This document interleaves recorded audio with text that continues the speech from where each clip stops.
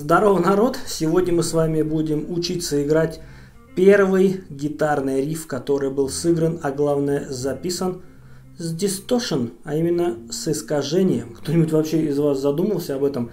Когда был сыгран первый риф на distortion гитаре? Он у нас был сыгран такой группой под названием The Kings.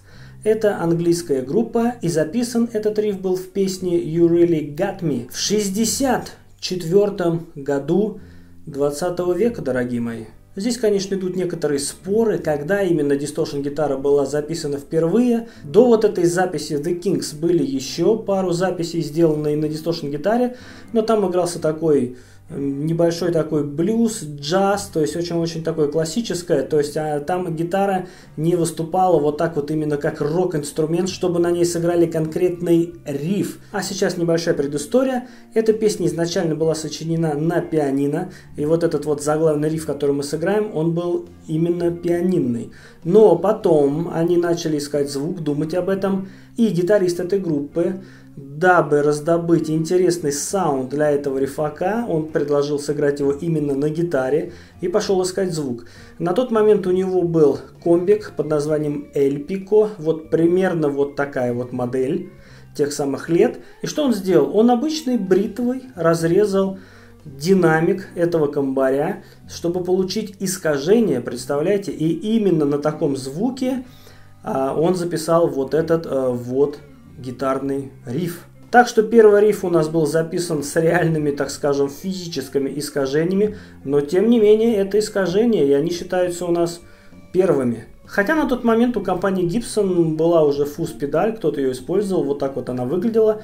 Но гитарист группы The Kings решил сделать нечто оригинальное. И, кстати, этот риф, вот именно с этим звуком искажения, вот с такой подачей, он повлиял потом на рок-музыку вообще.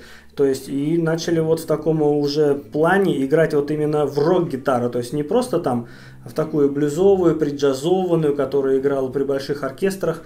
Нет, а вот именно самостоятельный такой рок-инструмент. Что ж, давайте посмотрим с вами на этот а, риф. Я сделал такой, поднакрутил небольшой звук, чтобы это было примерно похоже на вот этот самый 64 год. Итак, погнали!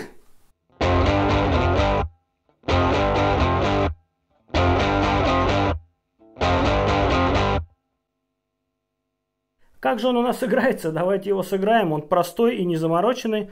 У нас с вами идут так называемые power аккорды. Ну, то есть квинта с добавленной октавой наверху. Итак, мы с вами играем одну квинту фа и квинту соль.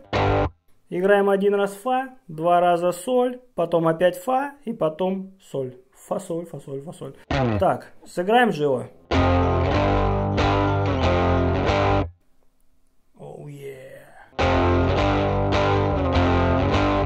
Не зря потом Ван Хален сделали кавер вот этой композиции уже с таким настоящим злым дисторшеном. Обязательно послушайте те, кто не слышал. Это очень крутой кавер. Так, ну что ж, так вот он и играется. Особо даже не прибавить, не отнять.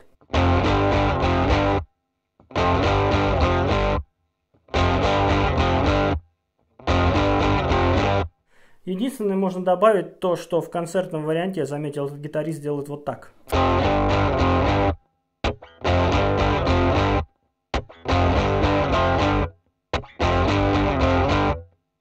Что ж, надеюсь, было интересно. Не забывайте поддерживать меня в Patreon. Вы ознакомились с этим гитарным рифом. Может быть, кто-то уже и знал, что это первый гитарный риф на дисторшене, а именно The группа The Kings и песни You Really Got Me – но тем не менее, удивительный факт, не так ли?